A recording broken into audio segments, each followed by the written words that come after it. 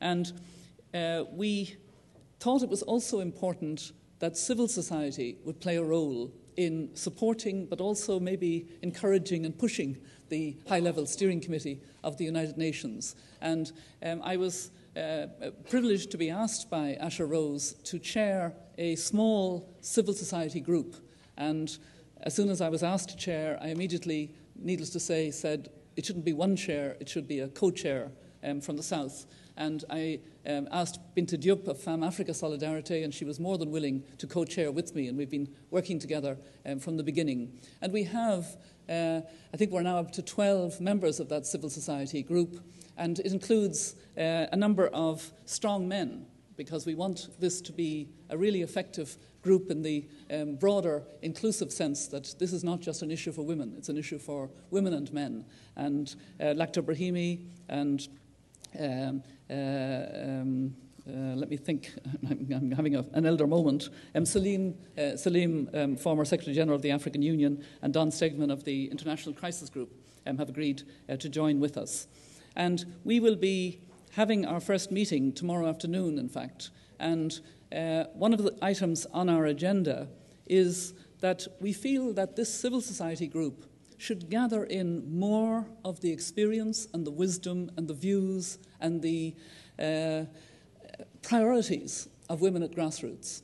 And I can't think of a better group than WLP in the 20 countries that you are working in uh, to use the, just the next period to uh, really try to gather in uh, what is it that would be most effective um, for women on the ground and um, how can we bring that then to the um, high level steering committee and to governments because we want to work very closely with governments. I think it's actually a new sort of collaboration um, of a kind um, where uh, I've been invited by the Deputy Secretary General to be part of the high level steering committee. So, in a sense, there's a civil society presence. We have our civil society group, but it's small. It's not intending to, in any way, um, be other than a kind of um, platform or openness to the high level steering committee of the UN and the governments who will be preparing for the 10th anniversary of uh, 1325. So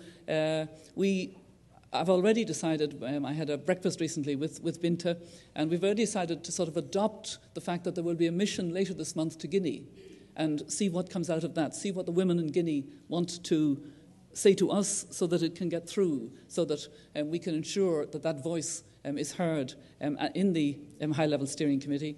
Um, hopefully, there may be uh, a mission to Zimbabwe at the end of April. And uh, I think, again, in the uh, 20 countries that uh, WLP is working in, I know that um, I can actually see the faces of some, like um, right here before me, like Asma, who are very active on the ground and have lots and lots of experience. Jacqueline, in your region. And I, I think it's, uh, it's really important that we use the opportunity to press for accountability and implementation, measures, indicators, measures that will ensure that for the next 10 years of 1325, we build on the work that's already been done. We build on the national and increasingly now regional plans of action. We uh, explore the potential, of the twinning that's beginning to uh, take shape. But really, we also um, look for much more effective measures of real protection for women and, and girls and, and their families um, on the ground. Uh, having uh, been recently in places like eastern Chad with a group of women, and more recently in Goma, um, in the camps there, and seeing and hearing the stories, and most of all, uh, hearing that kind of uh, tolerance because it's been going on for a long time, that awful undermining of dignity and worth, um, of the fact that we don't have zero tolerance of uh, terrible sexual violence. And uh, I think I'll end by saying one of the things that I'll bring to the table, and indeed um, I hope that the Irish government will also bring it to the table, is a practice that has grown up in my own country that I kind of mentor each year, and we're now into our fifth year.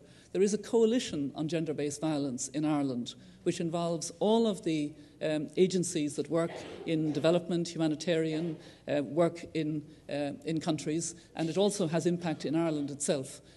The Irish government and the Irish Defence Forces. And they work as a coalition together, meet several times a year, and then in November we have a kind of feedback and I come along uh, to listen to the issues that the coalition has been raised, raising.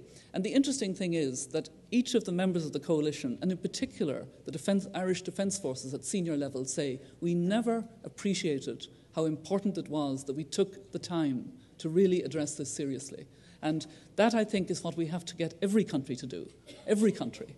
And it's not just enough to have paper plans of action under 1325. It has to be a lived reality under 1325. So, uh, as I say, it's a, it's a great pleasure to be back once more under the auspices of this wonderful organization. I know that in the region that WLP covers, uh, there has been progress, but also there are incredible worries. Incredible, worries for the brave women in Iran um, our sisters in Iran who need us to be with them and need us to uh, be more vocal, I think, in defending them in their time of great difficulty.